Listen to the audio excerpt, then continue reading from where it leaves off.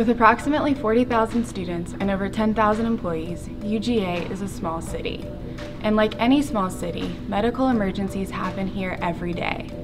As a bystander, there are things you can do to help your fellow Bulldog when things go sideways. First, call 911 and provide the location of the victim and the type of injury. Don't move the victim unless their position poses an immediate threat to their safety.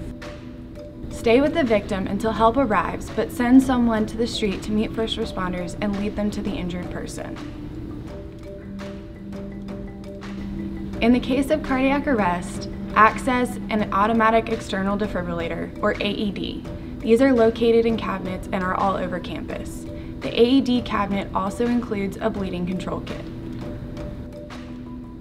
Wear protective gloves found in the bleeding control kits when providing assistance to an injured person. Emergency preparedness is everyone's responsibility.